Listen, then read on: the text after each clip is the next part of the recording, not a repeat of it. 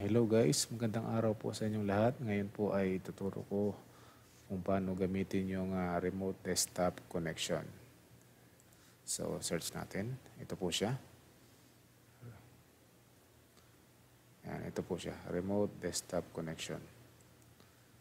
Yan. So, bali dito po natin itatype yung IP address ng PC or laptop na i-remote natin. Dito po natin itatype. So, para po magawa natin yon eh, kailangan po natin kunin yung IP address nung uh, i-remote natin na laptop or the PC. Uh, dito natin ilalagay. And also, dapat naka-on po yung uh, uh, remote desktop setting nung i-remote natin na laptop or uh, desktop. And take note nga pala guys, uh, itong remote desktop connection is ginagamit po halimbawa is sa inyong office. Yan. Kasi meron lang po kayong isang connection doon. Yan, magagamit niyo po itong remote desktop uh, connection. Yan.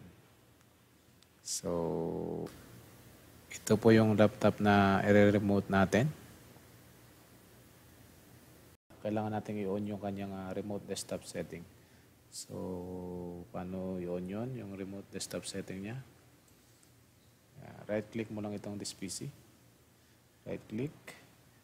And click uh, Properties. Click uh, Remote Settings. And check mo lang itong Allow Remote Assistance Connections to this computer. Check mo lang yan.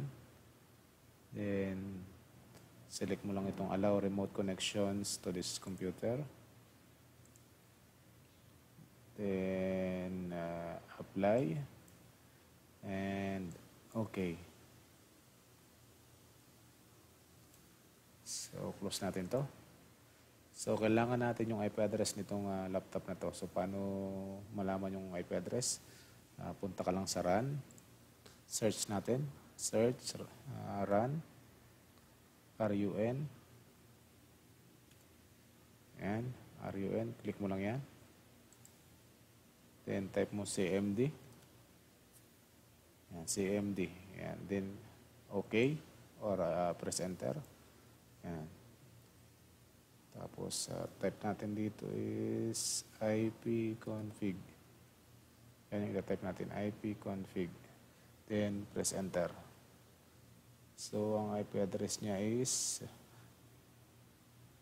192.168.43.200.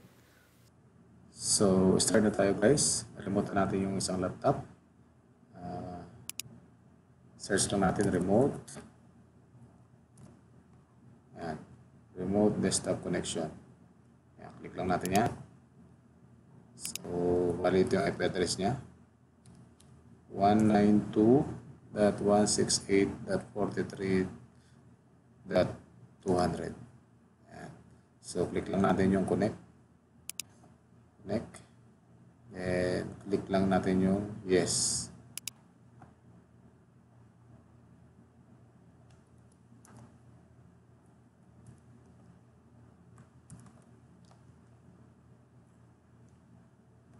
Yan. So, bali ito na yung ano, yung uh,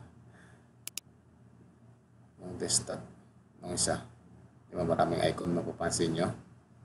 Ayan.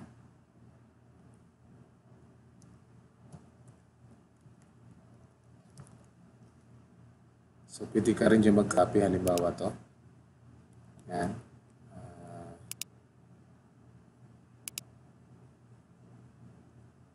so, halimbawa to. Ayan.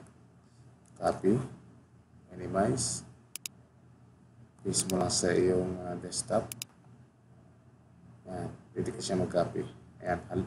Pwede mo magagamit nyo itong remote desktop. Halimbawa is uh, uh, wala kang USB or USB flash drive. Yan. Pwede mong gamitin to sa inyong opisina. Yan. Pwede ka mag-copy ng mga files at wala kang USB. Transfer mo lang sa PC mo. Yan. So, yun lang guys. At uh, maraming salamat.